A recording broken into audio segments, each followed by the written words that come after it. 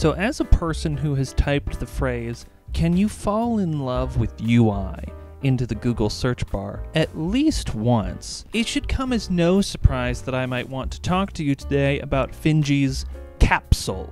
It's likely that you, the viewer, know about Finji because they've published Tunic, Overland, Night in the Woods, Wilmot's Warehouse, a bunch of recent classics in the indie game scene.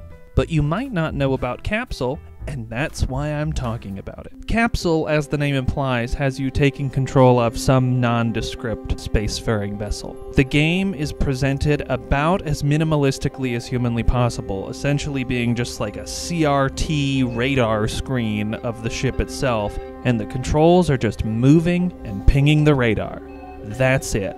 The first time I booted up the game and played it, I totally missed that I actually had objectives, and I just kind of flew off into the distance until I suddenly was outside the reach of any sort of resources, and um, my ship ran out of power, and I asphyxiated and died. And I thought to myself, this game rules. But then the second time I played through it, I noticed that there were actually little markers down in the corner guiding me towards a target. You get to that target, you dock with it, and you start to unravel this little narrative about what has happened to then what becomes a series of abandoned interstellar outposts, each time telling you to go to a station that's just a little bit further away than the one that you just got to.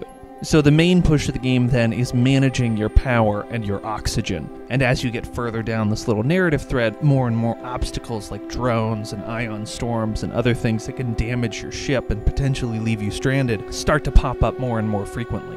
But Capsule is mesmerizing. I don't know if it's that recently I'd been playing some space games that had left me pretty unsatisfied, but Capsule just rocked. And for a game with such a minimal presentation, it's still doing absolutely everything it needs to do to get you hooked and to draw you in and to keep you playing to the next objective.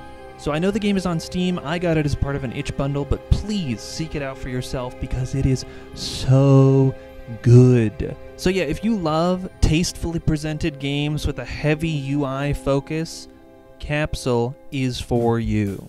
Yeah, I just really love games with this kind of presentation, and uh, I'd like to play more of them, so if you know of any like Capsule, leave them down in the comments below. If you like this video, leave a thumbs up. Subscribe if you're not subscribed already. We have a lot more videos like this, as well as analyses and documentaries and interviews. A whole mess of stuff for you to enjoy. As always, my name is Jake Theriault. This has been another episode of Play This on Subpixel. Thank you for watching.